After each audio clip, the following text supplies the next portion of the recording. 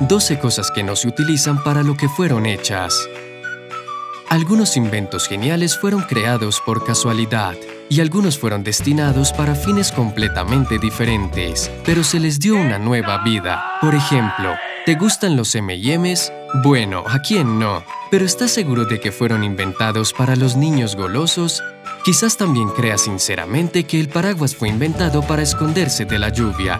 Si es así, te sorprenderás al ver este video. Hemos encontrado algunas cosas que se usaron de manera muy diferente en el pasado. Si al menos un punto es noticia para ti, haz clic en el botón me gusta. Número 12. Portavasos. Es muy probable que la mayoría de las personas usen los portavasos de cerveza regularmente, sin pensar en el origen de este objeto. Pero, ¿sabes que tiene un nombre? Birdekel. Esta palabra de origen alemán se puede traducir como cerveza arriba. Este artículo fue creado en el siglo XIX en los restaurantes con terrazas durante el verano. La gente cubría sus tarros con esta pieza de cartón para proteger su bebida de los insectos. La gente más tarde comenzó a usar los Birdekels como portavasos para proteger la mesa de los goteos de cerveza. ¿Ves cómo van cambiando las prioridades? Por cierto, varios datos curiosos sobre los Birdekels. Carlsberg creó el portavasos más grande del mundo. Su diámetro era de aproximadamente 15 metros y tenía 6 centímetros de grosor. 5 mil millones y medio de Birdekels se producen en el mundo cada año. Número 11. Té. Actualmente muchas personas no pueden imaginar su día sin una taza de té, pero hace mucho tiempo en China el té se usaba como tónico. Además, la gente en su mayoría lo masticaba, no lo bebía. Cuando el té finalmente llegó a Europa también se convirtió en medicina. A menudo se usaba en casos de gota. El doctor Cornelis Decker afirmó, el té puede ayudar a aquellos que ya tienen una pierna en la tumba. También afirmó que era necesario beber 50 tazas de té al día. Y algunas personas creen que el doctor fue bien pagado por la Compañía de las Indias Orientales. ¿Qué piensas? Escríbenos en el campo de comentarios. Número 10. El sistema de escritura y lectura para ciegos.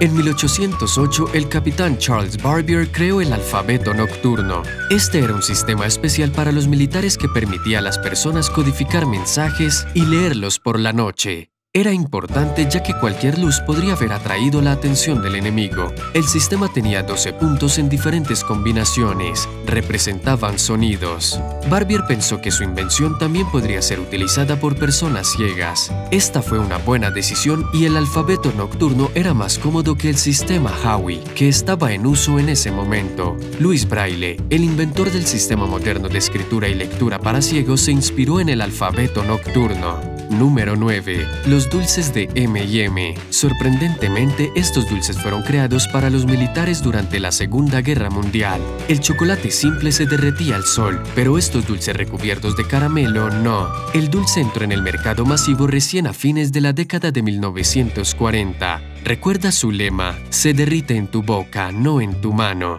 Es por eso que fue creado. Por cierto, ¿sabías que originalmente habían cinco colores diferentes de los dulces? Violeta, rojo, amarillo, naranja y verde. No había azul ni café. En cuanto a la letra M, comenzó a aparecer en estos dulces solo en los años 60. E incluso entonces se veía diferente. Negra, no blanca. Número 8. Globo de animales. Este puede parecer uno completamente extraño, pero la idea de torcer los globos en las figuras de los animales pertenece a los aztecas. Quemaban estas figuras en la parte superior de sus pirámides como un sacrificio a sus dioses. Para hacer tales globos soplaban aire en los intestinos de los animales, usando la vejiga en particular, y los ataban con hilos hechos de plantas. Suena asqueroso y evoca una pregunta lógica. ¿Quién querría agarrar ese globo? Número 7. Paraguas. ¿Cuál es la primera asociación que te viene a la mente cuando escuchas la palabra paraguas? Apuesto a que es la palabra lluvia. Pero espera, ¿sabías que los paraguas se usaban anteriormente en Europa y China para protegerse de los rayos del sol? Además, esta tradición también se puede rastrear en los nombres de paraguas en diferentes idiomas. Sondek, cortina y sombrilla para la sombra. Los chinos fueron la primera nación que utilizó algo parecido a los paraguas modernos para cubrir los carruajes de los gobernantes. Entonces el dispositivo se hizo popular en Japón y Corea. Más tarde, Europa comenzó a importar paraguas a través de la ruta de la seda. Al principio solo las mujeres usaban este tipo de protección del sol. En realidad, los paraguas se consideraban como un símbolo de feminidad igual a los tacones altos modernos. Es por eso que cuando en 1750 un hombre fue visto en las calles de Londres con un paraguas en un día lluvioso, el público en general se sorprendió. A pesar de las burlas, Jonas Hanway, siendo una persona excéntrica, siguió usando su paraguas. Como resultado de su valentía, los paraguas se convirtieron en la protección más popular contra la lluvia en todo el mundo, no solo para las mujeres, sino también para los hombres. Número 6. Capuchas. Diferentes naciones alrededor del mundo tienen algún tipo de capucha. Sin embargo, este detalle de la ropa se hizo famoso gracias a la orden de los frailes menores capuchinos. También obtuvieron su nombre de la palabra francesa para capucha, capuchón. No planearon ninguna conspiración ni tenían miedo de ser reconocidos, no. El hecho es que desde el punto de vista del simbolismo, este detalle significaba apostasía e invisibilidad.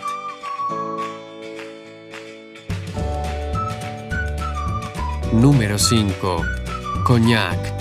El vino de la religión de Charanté comenzó a venderse poco después de la Guerra de los 100 años. Solo los marineros holandeses que navegaban hacia el norte de Europa compraron esta bebida para venderla en su destino final. El vino no podía mantenerse fresco durante un viaje tan largo. A alguien se le ocurrió la idea de transportar vino destilado, ya que era más barato y más fácil de enviar. Tenía que ser mezclado con agua para obtener vino. Sin embargo, parece que el vino destilado se volvió sabroso después de haberlo conservado en barriles de roble, y también podría beberse sin agregar agua. Así es como apareció el coñac.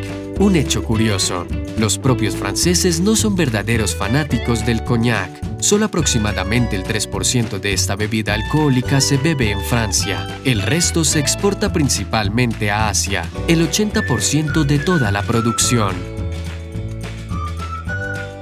Número 4. Juegos estándar de Windows. ¿Quién no conoce el legendario solitario, Corazones y Buscaminas? Parece que esos juegos fueron creados para matar el tiempo, pero no te apures a sacar conclusiones. De hecho, fueron creados con un propósito específico.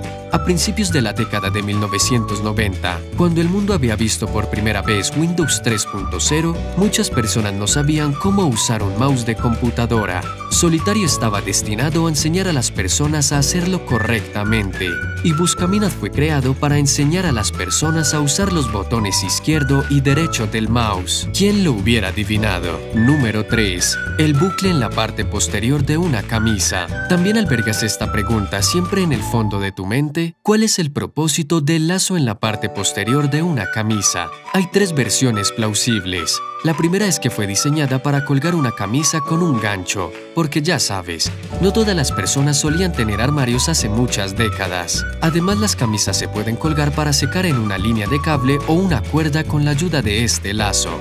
La segunda versión proviene de los tiempos de los collares desmontables y pañuelos de cuello. Este lazo probablemente se utilizó para atar un lazo. La tercera versión es la más romántica. Un estudiante de una universidad estadounidense lo inventó para mostrar que estaba saliendo con una chica, y ella debió usar el pañuelo de su universidad. Em, pero, ¿qué hizo él si se separaron? ¿Cosió el lazo nuevamente? Número 2. La parte azul de un borrador.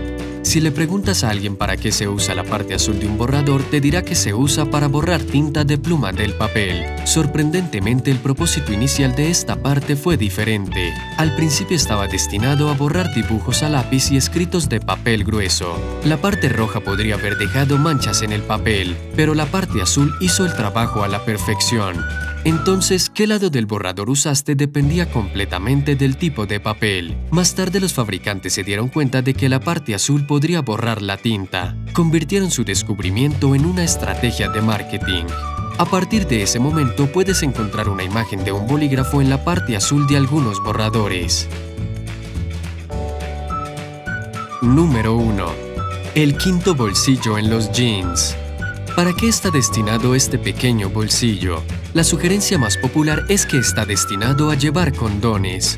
Por supuesto, puedes poner lo que quieras en ese bolsillo, pero inicialmente fue pensado para un propósito diferente. El quinto bolsillo apareció por primera vez en 1873 en los pantalones vaqueros de Levi's y se utilizó para llevar un reloj de bolsillo. Incluso hoy en día, este bolsillo se denomina bolsillo de reloj en sus catálogos y se mide específicamente para poder acomodar un reloj de tamaño 16. Incluso las presillas para cinturón están colocadas de la manera más conveniente para la cadena de clip de anillo del reloj. Tal vez todavía esperen que la moda de los relojes de bolsillo regrese. Si has encontrado este video entretenido, no te olvides de darnos tu aprobación y de compartirlo con tus amigos. Y si quieres ver muchos videos más útiles, suscríbete a nuestro canal. Únete a nosotros en el lado genial de la vida.